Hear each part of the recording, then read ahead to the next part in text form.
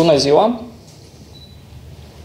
Astăzi am decis să venim în fața cetățenilor pentru a prezenta prioritățile platformei DA în viitorul legislativ cu privire la sănătatea populației și sistemul medical. Pe parcursul ultimilor ani, sistemul de sănătate a fost ignorat, fiind folosit doar în interese politice. Drept rezultat, avem astăzi o populație bolnavă și un sistem de sănătate istovit.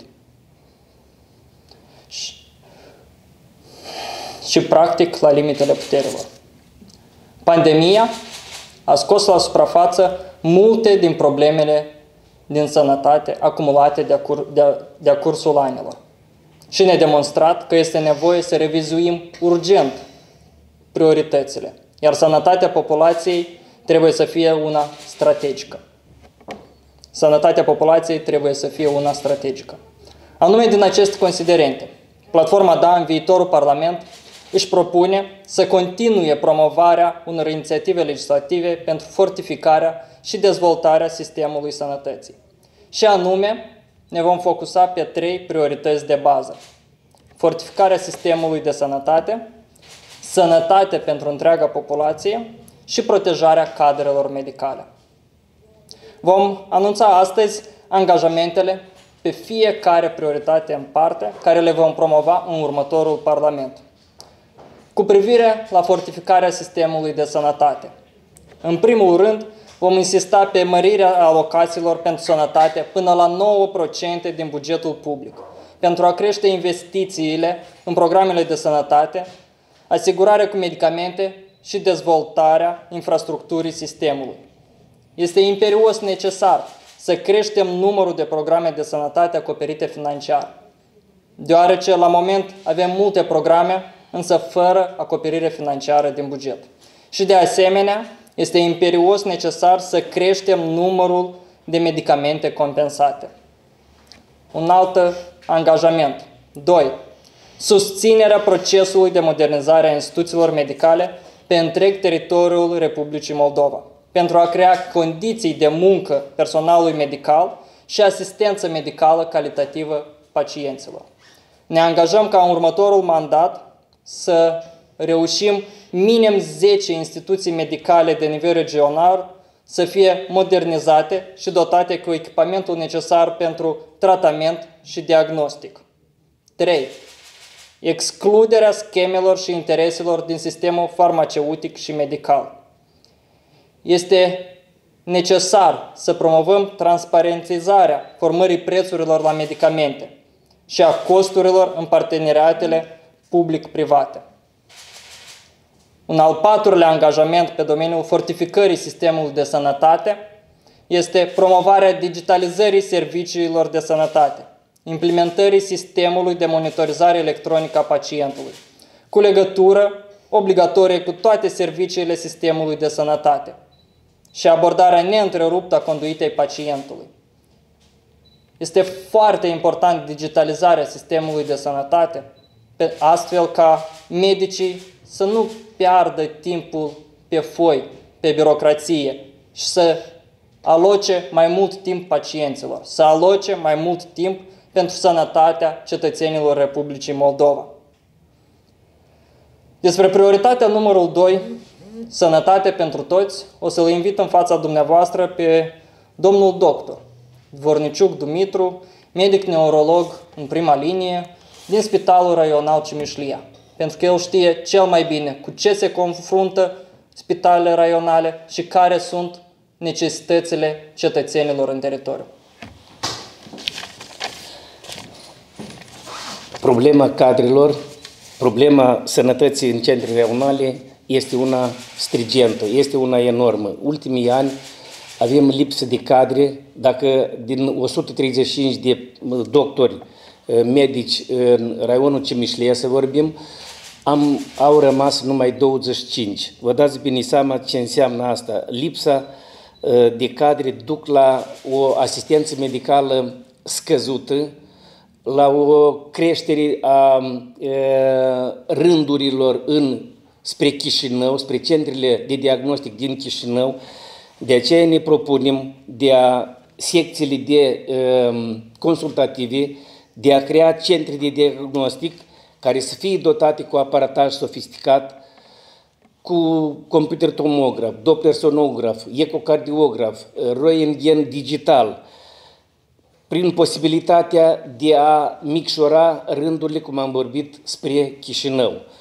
Um, o problemă enormă rămâne ca aprovizionarea cu medici. Este binevenit ca uh, cadrele, tinerii specialiști, rezidenții, asistenți medicali să fie îndreptați în, la periferie pentru a completa cadrele, dar este nevoie și o salarizare decentă, condiții de trai,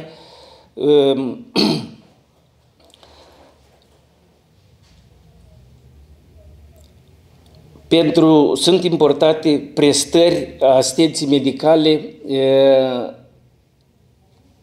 prin Compania Internațională de Asigurări să fie pentru întreaga populație benefică și binevenită.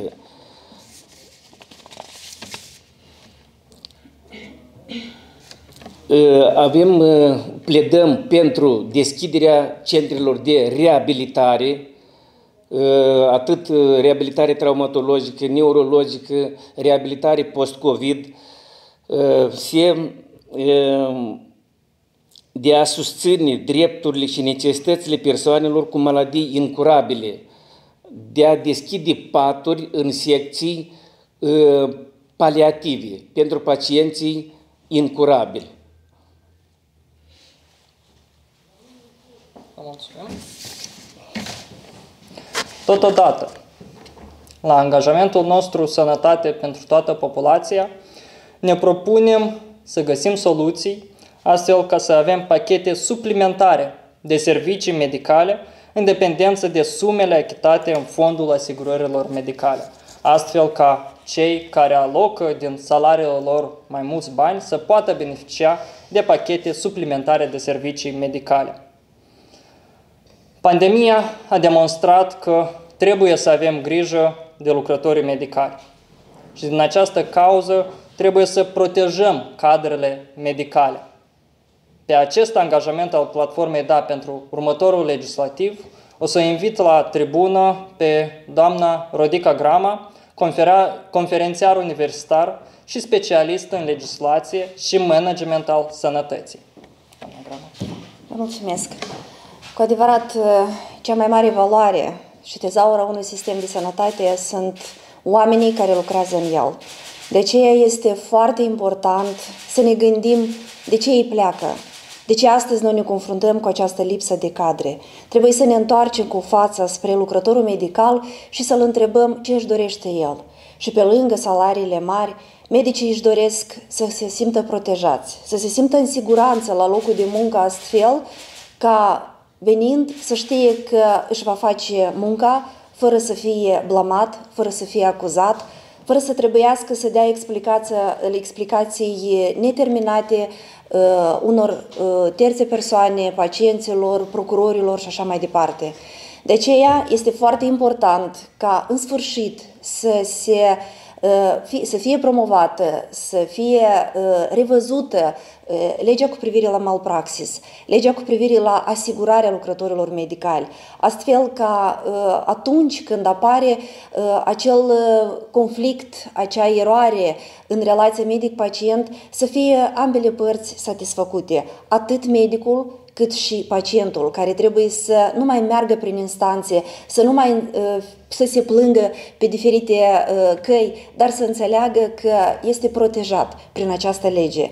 De aceea, un angajament important este promovarea cadrului legislativ care ne-ar proteja angajații sistemului sănătății și ar crește foarte mult uh, calitatea relației medic-pacient.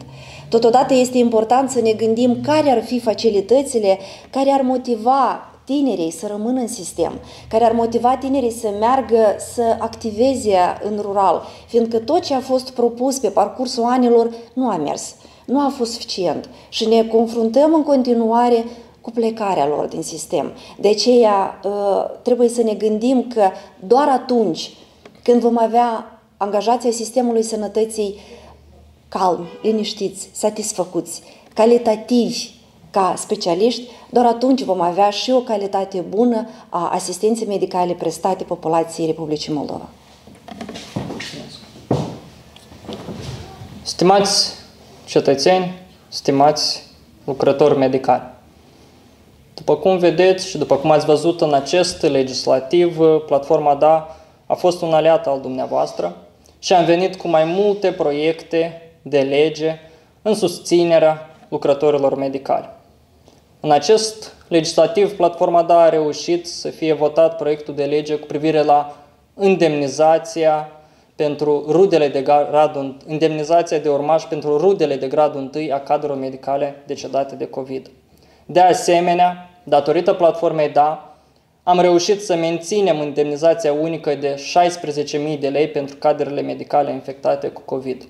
Și în ultimul rând, sporul salarial pentru cei care lucrează în condiții de risc, reglementările legale au fost elaborate și au fost votate în Parlament la insistența Platformei Demnitate și Adevăr.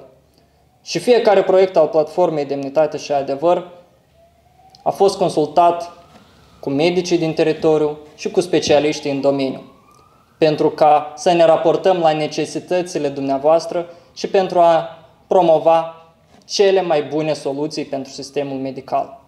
Pe final, vă felicităm cu ocazia Zilei lucrătorului medical. Vă dorim sănătate și rezistență. Să știți că în Parlamentul Republicii Moldova aveți un aliat care va apăra cu înverșunare drepturile și necesitățile dumneavoastră. Platforma Demnitate și Adevăr. La mulți ani, dragi lucrători medicali!